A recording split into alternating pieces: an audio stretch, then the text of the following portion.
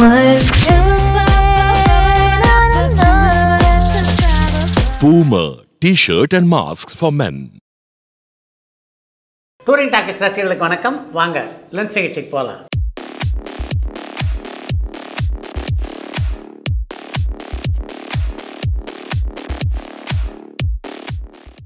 என்னம்மா முதல் கேள்வி? சார் தளபதி சிக்ஸ்டி செவன் படத்தை அட்லி தான் டைரக்ட் பண்றாரு அப்படின்னு சொல்றீங்களே எப்படி சொல்றீங்க? அது மாறுறதுக்கான வாய்ப்பு கூட இருக்குல்லன்னு மார்வன் கேட்டிருக்காங்க. விஜய் அட்லி ரெண்டு பேருக்கு நண்பர்கள் இருக்க மாட்டாங்களா? அவங்கக்கிட்ட இது போன்ற விஷயங்களை அவங்க பகிர்ந்துக்க மாட்டாங்களா? அது போன்ற நண்பர்களுக்கு வேற நண்பர் இருப்பாங்கல்ல அவங்க மூலம் தான் இது மாதிரி செய்திகள்லாம் வெளில வரும். இந்த செய்தியை எனக்கு சொன்னவர் மிக மிக முக்கியமான ஒருத்தர். திரையுலகிலே பல ஆண்டு காலம் அனுபவம் உள்ளவர். அதனால தான் அந்த செய்தியை நம்பிக்கையோடு நான் வந்து நம்முடைய நிகழ்ச்சியில் சொன்னேன். சார் ஸ்ருதிஹாசன் தமிழ் படங்களில் நடிச்சு கிட்டத்தட்ட நாலு வருஷம் ஆயிடுச்சு. அவங்களுக்கு ஏன் பட வாய்ப்புகள் இல்லாமல் போச்சுன்னு மதுரையிலேருந்து ராஜேஷ் கேட்டிருக்காங்க. எஸ்பி ஜனநாதனுடைய இயக்கத்தில் விஜய் சேதுபதிக்கு ஜோடியாக ஸ்ருதிஹாசன் நடித்துள்ள லாபம் திரைப்படம் இந்த மாதம் ஒன்பதாம் தேதிக்கு வர இருக்கிறது அப்படின்றத உங்களுக்கு நினைவுபடுத்த விரும்புகிறேன் பொதுவாக ஸ்ருதிஹாசனுக்கு பட வாய்ப்புகள் குறைந்திருக்கிறது உண்மைதான். அதற்கு முக்கியமான காரணம் என்னென்னா அவருடைய சமீபத்திய படங்கள் மிகப்பெரிய அளவில் வெற்றி பெறாது தான் நடிகர் நடிகர்களுக்கு நான் தான் உங்களுக்கு பலமுறை சொல்லியிருக்கேன் முந்தைய படங்களுடைய வெற்றி தான் அவர்களுக்கு தொடர்ந்து வாய்ப்புகளை பெற்றுத்தரும் என்பது தான் சினிமா உலகத்திலே இப்போது உள்ள நிலை. சார் அண்ணாத்த படத்தோட ரிலீஸ்க்கு இன்னும் ரெண்டு மாதம் தான் இருக்குது ஆனால் சன் பிக்சர்ஸ் ஃபர்ஸ்ட் லுக்கு கூட இன்னும் ரிலீஸ் பண்ணலையே.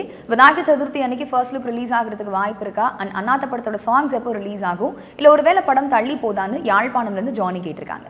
அண்ணாத்தே நிச்சயமாக தீபாவளி என்று திரைக்கு வர இருக்கிறது. அதில் எந்த சந்தேகமும் இல்லை. தீபாவளிக்கு முன்னால் அந்த படத்தினுடைய ட்ரெய்லர் வழியாக தீபாவளிக்கு இன்னும் நாட்கள் இருக்கிறதுனால தான் இப்போ அந்த படத்தை பற்றிய எந்த விளம்பரத்தையும் சன் பிக்சர்ஸ் செய்யாமல் இருக்காங்க. சார் விஷால் கதிரேசன் கார்த்திக் தங்கவேலு ப்ராஜெக்ட் இப்போ என்ன நிலைமையில இருக்கு? படத்தோட ஷூட் எப்போ ஸ்டார்ட் ஆகும்னு மதுரையிலேருந்து ராஜ் கேட்டிருக்காங்க. விஷாலுடைய முழு கவனமும் இப்போ வீரம் வாகை சுடும் அப்படின்ற படத்தில் தான் இருக்குது அந்த படத்தை தொடர்ந்து அவருடைய மிகச்சிறந்த நண்பர்களான ரமணாவும் நந்தாவும் இணைந்து தயாரிக்கின்ற படத்துடைய படத்தில் அவர் நடிக்க இருக்காரு அந்த படத்துக்கு பின்னால் தான் விஷால் கதாநாயக நடிக்க கார்த்திக் தங்கவேல் இயக்குகின்ற கதிரேசன் படத்துடைய படப்பிடிப்பு தொடங்கும். சார் நடிகர் பிரகாஷ் ராஜ் கமல்ஹாசன் கூட இணைஞ்சு நிறைய படங்கள்ல நடிச்சிருக்காரு. ஆனா ரஜினிகாந்த் கூட படையப்பால் அந்த சின்ன கேரக்டர் தவிர வேற படங்கள்ல நடிக்கவே இல்லையே அதுக்கு என்ன காரணம்? இதுக்கப்புறமா அவங்க இணைஞ்சு நடிக்க வாய்ப்பு இருக்கான்னு இலங்கையில இருந்து மதிஷாந்த் கேட்டிருக்காங்க. திறமையான நடிகர்கள் தன்னுடைய படங்களிலே தொடர்ந்து இடம்பெற வேண்டும் அப்படின்னு தான் எப்பவுமே ரஜினி விரும்புவார். அதன் காரணமாகத்தான் மிகச்சிறந்த திறமைசாலியான ரகுவரன் தொடர்ந்து பல படங்களில் ரஜினியோடு இணைந்து நடித்தார். பிரகாஷ் ராஜையும் ரஜினிகாந்த் அந்த அளவு மதிக்கின்ற ஒரு நடிகர் தான். ஆனாலும் சந்தர்ப்பங்கள் சரியாக அமையாததுனால்தான் அவள் இருவரும் இணைந்து பல படங்களில் நடிக்க முடியல. சார் ஆக்ஷன் கிங் அர்ஜுன் கிட்ட இருந்து நல்ல கிரைம் த்ரில்லர் வெப் சீரிஸ் எதிர்பார்க்கலாமான்னு வடமதுரையிலிருந்து குகன் கேட்டிருக்காங்க. டூரிங் டாக்கீஸுக்கு மட்டும் இல்லாமல் இந்த திரையுலகில் இருக்கின்ற பல இயக்குநர்களுக்கும் நீங்கள் நல்ல நல்ல யோசனையை சொல்லிட்டு இருக்கீங்க. நிச்சயமாக அர்ஜுனை வச்சு வெப் சீரிஸ் எடுத்து அதுவும் கிரைம் பேஸ்ட் எடுத்தால் மிகப்பெரிய வெற்றி பெறும். உங்களுடைய யோசனைக்கு நன்றி. இந்த நிகழ்ச்சியை தமிழ் சினிமா இயக்குனர் பல பேர் தொடர்ந்து பார்த்துட்டு இருக்காங்க. இந்த யோசனையை அவங்க ஏற்றுக்கொள்வார்கள் அப்படின்னு நான் நினைக்கிறேன். சார் எம்ஜிஆரோட படங்களுக்கு இசையமைக்கிறதுக்கு இசைஞானி இளையராஜாக்கு வாய்ப்பு கிடைச்சதான்னு சத்தியமங்கலம்ல இருந்து நந்தகுமார் கேட்டிருக்காங்க. எம்ஜிஆர் கதாநாயகன் நடித்த படத்துக்கு இசையமைக்கிற வாய்ப்பு இளையராஜாவுக்கு வந்தது.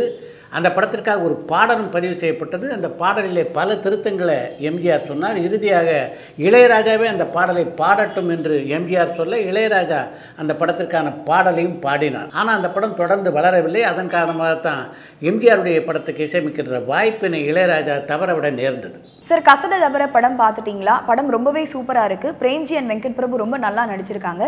படம் பற்றி உங்களோட கருத்து என்னன்னு சென்னையிலேருந்து அசோக் கேட்டிருக்காங்க.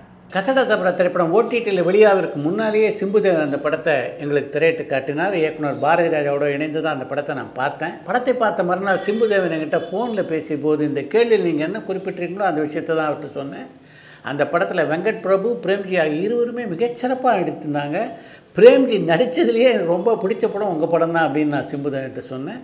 மிகவும் சிறப்பாக தரமாக உருவாகியிருந்த ஒரு படைப்பு தான் கசட தப்பற சார் சுந்தரா டிராவல்ஸ் காசேதான் கடவுளடா போன்ற படங்களை இப்போ பார்த்தா கூட ரொம்ப ரசிக்கிற விதமாக இருக்கும். ஸோ அப்படிப்பட்ட படங்களை ரீமேக் பண்ணாமல் இருக்கிறது தான் நல்லது அப்படின்னு நான் நினைக்கிறேன். இதை பற்றி உங்களோட கருத்து என்னன்னு தலையாம்பள்ளம்ல இருந்து செல்வம் கேட்டிருக்காங்க. சுந்தரா டிராவல்ஸ் கதையை அப்படியே திரும்ப படமாக்குன்ற எண்ணம் அந்த படத்துடைய தயாரிப்பாளரான தங்கராஜுக்கு இல்லை. சுந்தரா டிராவல்ஸ் பார்ட் டூ தான் அவர் எடுக்கிருக்காரு காசேதான் கடவுளோட அப்படியே படமாக்குவர் கண்ணன். அந்த படத்தினுடைய படப்பிடிப்பை முழுவதுமாக முடித்து விட்டார் கண்ணன். இப்படிப்பட்ட சூழ்நிலையில் இந்த படத்தை எல்லாம் ரீமேக் பண்ணுறது சரியா தவறா அப்படின்னு நான் பதில் சொன்னால் அது சரியாக இருக்குமா? அதனால் உங்கள் கேள்விக்கு நான் பதில் சொல்லலை. சார் சிவாஜி கணேசன் படங்களை எல்எஸ் டங்கன் டைரக்ட் பண்ணியிருக்காரான்னு போரூர்லேருந்து பரமானந்தம் கேட்டிருக்காங்க. நடிகர் எம் சிவாயணசன் கதாநாயகன் நடித்த பராசக்தி திரைப்படம் ஆயிரத்தி தொள்ளாயிரத்தி ஐம்பத்தி ரெண்டாம் ஆண்டில் தான் வெளியானது. என்லி சார்டங்கன் ஆயிரத்தி தொள்ளாயிரத்தி ஐம்பதுலேயே மந்திரிகுமாரி படத்தை முடிக்க முடியாமல் திரும்பவும் அமெரிக்காவுக்கு சென்று விட்டார். அதனால் எல்லி சார்டங்கனுடைய இயக்கத்தில் நடிக்கக்கூடிய வாய்ப்பு சிவாஜிக்கு கிடைக்கல. சிவாஜி இயக்கக்கூடிய வாய்ப்பு எலிசா டங்கனுக்கு கிடைக்கல. சார் துருவ நட்சத்திரம் படம் வருமா வராதான்னு தருமபுரியிலேருந்து ஜான் கேட்டிருக்காங்க. இது ஒரு மில்லியன் டாலர் கொஸ்டின் அப்படின்னு நினைக்கிறேன். இந்த கேள்வி இன்றைக்கி தான் தான் நீங்கள் கேட்குறீங்க ரெண்டு வருஷமாக கேட்குறீங்க ஆனாலும் தூர நட்சத்திரம் வருமா வராதா எப்போது வரும் அப்படின்னு சொல்ல முடியாத ஒரு சூழ்நிலையில் நான் இருக்கேன். சார் நீங்கள் தோட்டாதாரணி சார் இன்டர்வியூ பண்ண வாய்ப்பு இருக்கா? அவரை பற்றின சுவாரஸ்யமான தகவல் இருந்தால் சொல்லுங்கன்னு யூகேலேருந்து சண்முகவேலு கேட்டிருக்காங்க. தமிழ் சினிமாவில் ஏகே சேகர் பண்ணுற பல முக்கியமான கலை இயக்குனர் இருந்திருக்காங்க. அவங்கள தொடர்ந்து தனக்கென ஒரு தனி அடையாளம் பெற்ற ஒரு கலை இயக்குனராக இருந்தவர் தான் தோட்டா தரணி. அவர் எந்தெந்த படங்களில் எல்லாம் ஆர்ட் டைரக்டராக பணியாற்றினாரோ அந்த படங்களில் பார்த்தீங்கன்னா அவருடைய திறமை தனியாக பளிச்சிடும் அப்படிப்பட்ட ஒரு அற்புதமான ஆர்ட் டைரக்டர் அவரை நான் ஏற்கனவே நம்முடைய சாய் சித்ரா நிகழ்ச்சிக்காக ஒரு முறை தொடர்பு கொண்டு பேசினேன். அப்போ அவர் சென்னையில் இல்லை. வெகு விரைவிலேயே அவருடைய பேட்டி நிச்சயமாக சாய் சித்ரா நிகழ்ச்சியில் இடம்பெறும். சார் ராம் சரணோட பதினஞ்சாவது படத்துக்கு கதை திருட்டு பிரச்சனை போயிட்டு இருக்கிறதா ஒரு நியூஸ் வருதே அது உண்மையானு நாமக்கல்ல இருந்து திவாகரன் கேட்டிருக்காங்க. முன்னெல்லாம் ஒரு படம் வெளியானதுக்கு பின்னால் தான் அந்த முழு படத்தையும் பார்த்துட்டு இந்த கதை என்னுடைய கதை அப்படின்னு சில பேர் புகார் சொல்லுவாங்க. சமீப காலமாக பார்த்தீங்கன்னா ட்ரெய்லர் வெளியான உடனே சில பேர் இது மாதிரி புகார்லாம் சொல்ல ஆரம்பித்தாங்க இப்போ பார்த்தீங்கன்னா ராம்சரண் தேஜாவும் சங்கரும் இணைந்து உருவாக்க போகின்ற படத்துடைய பெயரை கூட அவங்க இன்னும் அறிவிக்கலை. ஆனால் அதுக்குள்ளே அது எங்கதை அப்படின்னு புகார் எழுந்திருக்கு. இதை என்ன சொல்கிறது அப்படின்னு எனக்கு புரியல. சார் கிழக்கு சீமையிலே படத்தோட டைட்டில் கார்டில் உங்களோட நேம் வருது. அதுக்கான காரணம் என்ன? அந்த படம் சம்பந்தமான மறக்க முடியாத அனுபவம் இருந்தால் ஷேர் பண்ணுங்கன்னு கோயம்புத்தூர்லேருந்து சந்தோஷ்குமார் கேட்டிருக்காங்க. கிழக்கு சிமிலை திரைப்படத்தை முதல்ல தயாரிக்க இருந்தவர் எம் எஸ் சுஷ்ணாவுடைய மகனான கோபி.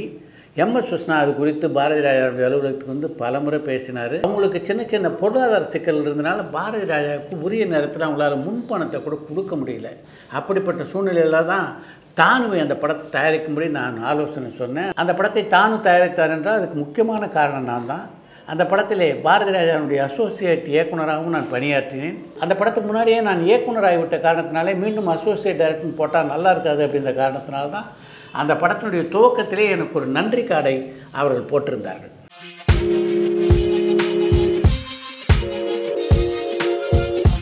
சார் நடிகைகள் பானுமதி ராமகிருஷ்ணா ஸ்ரீவித்யா. இவங்க ரெண்டு பேரையும் இன்டர்வியூ பண்ணக்கூடிய வாய்ப்பு உங்களுக்கு கிடைச்சிருந்ததுன்னா அவங்க கிட்ட முக்கியமாக என்ன கேள்வி கேட்டிருப்பீங்கன்னு வெங்கட் கேட்டிருக்காங்க.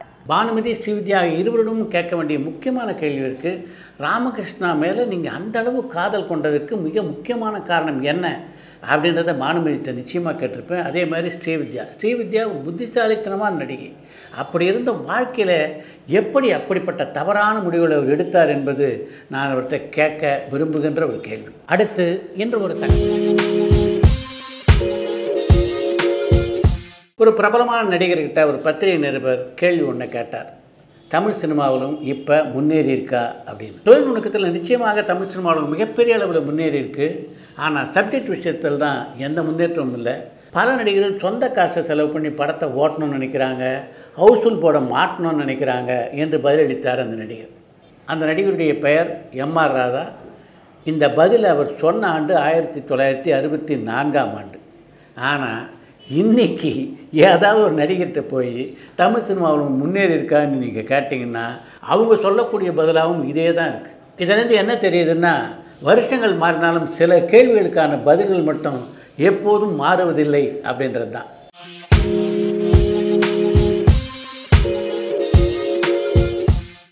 இத்துடன் இன்றைய லஞ்ச் நிகழ்ச்சி நிறைவு பெறுகிறது மீண்டும் அடுத்த லஞ்ச் நிகழ்ச்சியிலே சந்திப்போம்.